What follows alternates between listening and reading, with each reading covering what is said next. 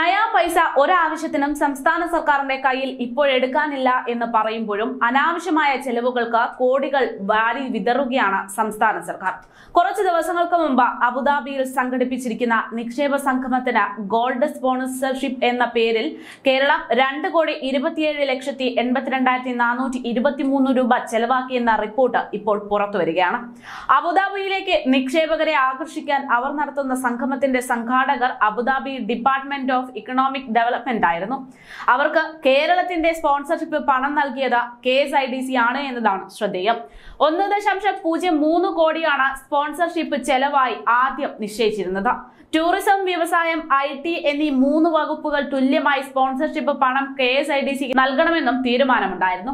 Sponsorship ചെലവുകൾക്ക് രണ്ട് ദശാംശം രണ്ട് ഏഴ് കോടി രൂപയുണ്ട് എന്നും ടൂറിസം വകുപ്പ് എഴുപത്തിയഞ്ച് ദശാംശം ഒൻപത് നാല് ലക്ഷം നൽകണമെന്നും K S I D C പിന്നീട് ആവശ്യപ്പെട്ടു.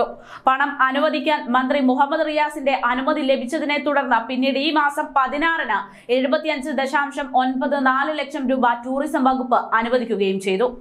എ ഇ നിക്ഷേപ സംഗമത്തിന് കേരളവും സ്പോൺസർമാരായത് വിവാദങ്ങൾ ക്ഷണിച്ചു വരുത്തിയിരിക്കുകയാണ്.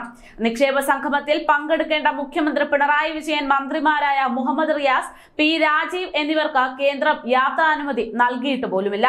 അനുമതി നിഷേധിച്ചതിന്റെ കാരണം ഇന്നും ദുരൂഹമായി തുടരുന്ന സാഹചര്യമാണ്.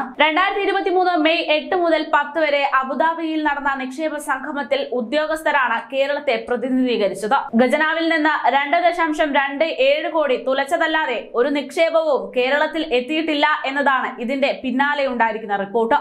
ഇങ്ങനെ അനാവശ്യ കാര്യങ്ങൾക്ക് വേണ്ടി മാത്രം കോടികൾ ചിലവിടുന്ന സർക്കാരാണ് കഴിഞ്ഞ ദിവസം കേന്ദ്രത്തിനെതിരെ കോടതിയെ സമീപിച്ചത്. അതും കടമെടുപ്പ് പരിധി വർദ്ധിപ്പിക്കാൻ. ഇതിന്റെ പേരിൽ ഒരു നയാ പൈസ അധികമായി കടമെടുക്കാൻ അനുവദിക്കില്ല എന്ന നിലപാടിലുറച്ച് കേന്ദ്ര സർക്കാർ കഴിഞ്ഞ ദിവസം മറുപടിയും നൽകിയിട്ടുണ്ട്.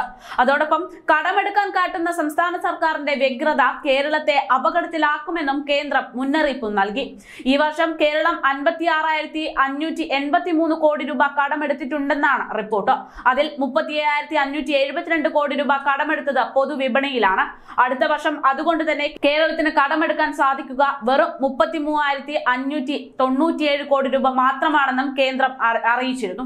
അതായത് ഇത്തരത്തിൽ കടമെടുക്കുന്ന തുകയെല്ലാം സർക്കാർ ജനങ്ങൾക്ക് വേണ്ടി അല്ലെങ്കിൽ സംസ്ഥാന സർക്കാരിന്റെ പദ്ധതികൾക്ക് വേണ്ടിയോ വിനിയോഗിക്കാതെ ഇത്തരത്തിലുള്ള ദൂരത്തിന് വേണ്ടി മാത്രം ഉപയോഗിക്കുന്നു എന്ന് റിപ്പോർട്ടുകൾ പുറത്തു വരികയാണ്. ഈ ഒരു സാഹചര്യത്തിൽ മുന്നോട്ട് പോകുകയാണെങ്കിൽ കേരളം ഇപ്പോൾ അനുഭവിക്കുന്ന സാമ്പത്തിക പ്രതിസന്ധി കൂടുതൽ ശക്തമാകും എന്നത് തന്നെയാണ് പറയേണ്ടിയിരിക്കുന്നത്.